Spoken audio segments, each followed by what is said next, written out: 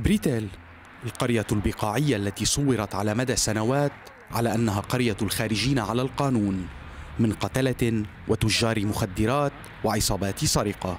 ترتاح اليوم هادئة وهانئة متكئة على سلسلة جبال آملة أن تتغير أحوالها.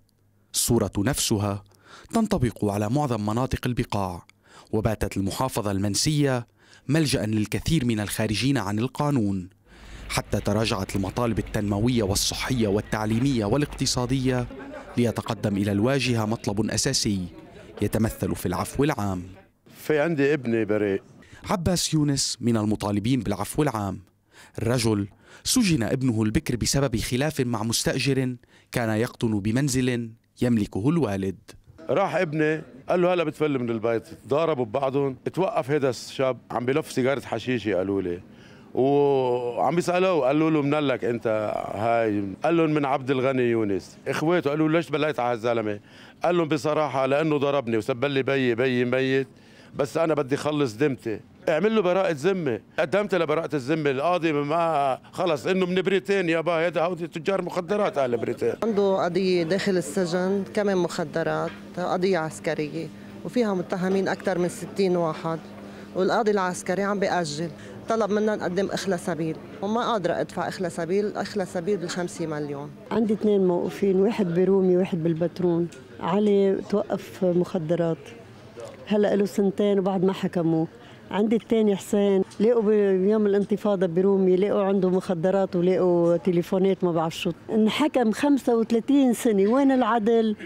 رحت طعنت بالحكم رفضوا لي إياه. ابني عم بيموت جوا مكسورة اجرح مغرغرة أنا عندي خاي له 15 سنة بالحبس. انحكم 15 وخلص حكمه يعني. آه، من سبعة أشهر جينا نطلعه قال علي إشارات بقصر العدل. إلي شهرين كل يوم بروح على العدلية برمنا على الإشارات مش موجودين. تختلط قصص الأهالي إلا أن المطلوبين أكثر وضوحا. قد إيه عمرك؟ 18 سنة. قد إيه كان عمرك أول مرة طلع فيك مذكرة وتوقفت؟ كان عمري 13 توقفت على 16 سنة. وقد إيه انحبست ثلاث سنين. بتهمه شو؟ سرقة شراء مسروق. وهلأ شو؟ هلأ كمان شراء مسروق وما إلي عليه؟ بدنا عفو عام. خلص لحتى العالم تقعد لحتى نشتغل نأسس حياتنا من جديد. شكلت لجنة في البقاع لمتابعة ملف العفو العام قبل أشهر وأولى مهماتها تغيير الصورة النمطية.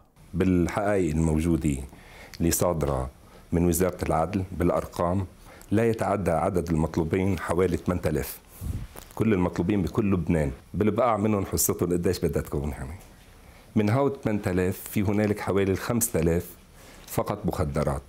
منهم 4000 عطف جرمي.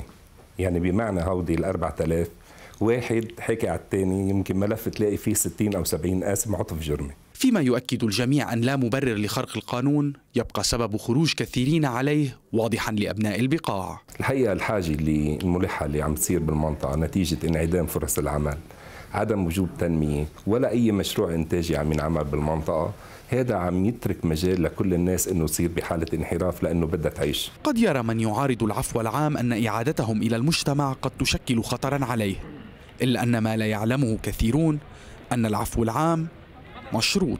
بقانون العفو المقترح بيقول إنه أي واحد من هيدي الناس بترجع تعمل أي غلطة يعاد فتح الملفات السابقة وهذا يؤدي إلى سجن أقله بسيجارة حشيش 25 سنة. عقود نسيت فيها الدولة البقاع وقراه اقتصاديا وإنمائيا وأمنيا. واليوم يطلب هؤلاء فرصة أخرى ليعودوا إلى حضن الدولة.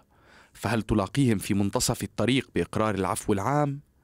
أم باب التوبة لم يفتح بعد. حسان الرفاعي قناة الجديد.